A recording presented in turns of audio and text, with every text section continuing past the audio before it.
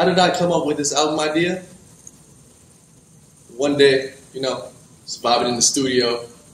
My boy from the AICPA hits me up and he's like, hey man, I need you to come up with an idea, a mixtape on 2013 top initiatives of AICPA. And I was like, all of them? He's like, nah, nah, nah. Just ensuring privacy. And I looked at him and straight in the eyes, and I was like, I got you. I know exactly who I'm going to hit up. So I got my team together.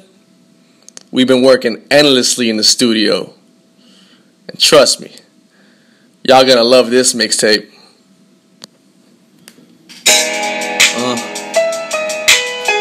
see this world that we live in? People with iPhones, people on Facebook, people liking people's posts on Instagram. There's just so much information about each other going around. Rumors, gossip, facts. How do we know who's who nowadays? How about public companies? Just imagine all the personal info they have stored. All that info of their clients. Are they ensuring privacy for these clients? That's what we're here to talk about. How these companies can make sure they're not only keeping you safe, but keeping themselves safe. I mean, at the end of the day, it's all about ensuring privacy. Do you expect a right to privacy? The truth of the matter is, is that the right to privacy is a complex concept. It doesn't stop changing. If you think about it, everything changes except change itself. Don't you ever wake up in the morning and ask yourself, Am I ensuring privacy for myself? What about my clients? Well, here's a mixtape that'll help you understand.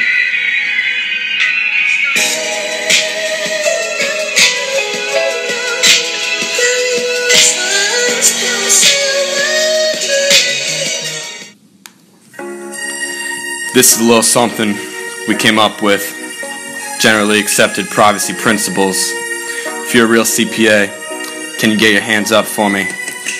Management has a lot of responsibility. Define, assign, communicate, accountability. So many privacy procedures and policies, and there's a lot more than just these. Entities gotta get things straight, or they'll end up like Watergate provide a notice which they themselves propose, saying how info is collected, used, and disclosed. Choice and consent, that is the next principle, laying out all the choices available. Obtain consent from the individual, not doing so be wrong and just criminal. So now that I got all you guys' attention, the next thing I'm gonna talk about is collection. The company collects only info that it needs, stated clearly on the notice so everyone can read. Info should be kept for a specified time so entities can reduce the possibility of crime. When it's no longer needed, should be thrown out, assuming they properly dispose, without a doubt.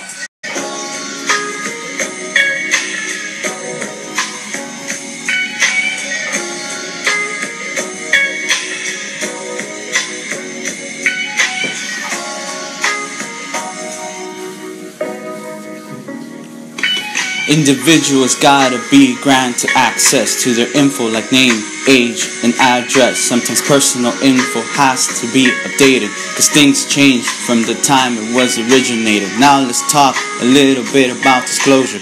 Entities watch out for unlawful exposure. Sharing info with only parties they're allowed because the notice is basically the promise they vow.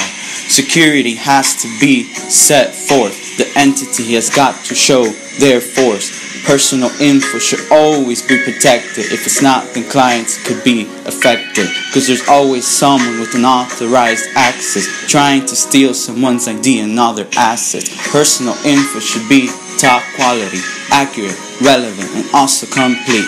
Monitoring is what comes next. Compliance with policies gotta always be checked. Complaints and disputes should always be addressed. That's why entities gotta have procedures assessed. Thank you for listening. You have been a great guest. Hope you learned about GAPP. Goodbye and God bless. So uh, I made the song. It's called 12 Questions, and it's basically a checklist of questions you should ask yourself for your business and if you're doing everything right to ensure privacy and be secure. Check it out. ACG 6625. When it comes to your privacy risk, you gotta ask the right questions to understand, implement, and manage your business. So listen, these are some questions you gotta ask yourself. Girl, it's easy to understand privacy. You gotta ask things like, what do I need to know about customers? What do we need to collect and store? See, it's easy to understand. Now, would you trust me if I disclose your info to third parties? Would this affect our business plan? And if we got management involved, how private would we be? And if we got a privacy agent, would you still love me? If the agent had clear authority, would you still trust me? And could we implement and maintain a privacy system and come up with all these resources? Policies and procedures were created. Will you communicate the info to the employees? Or do we have a privacy risk? And if we can comply with the policies, then what objectives would be established? And if these objectives weren't met, would you deal with the consequences? Or would you be able to monitor and report the privacy control? And I'm asking these questions to find out how private you are. So John and I, we wrote the song because the AICPA privacy principles scorecard just meant so much to us. Yeah, you know, the scoreboard does so much for people. It tries to attain the best practices in assessment and management for privacy. You know, we tried many other tools that would help us manage our privacy, and nothing could just ever compare to the scoreboard. Yeah, you know, we wrote this straight from the bottom of our hearts, and we just want people to understand and just how awesome this scoreboard is. And I, I think we express it in our song. Yeah. Yeah.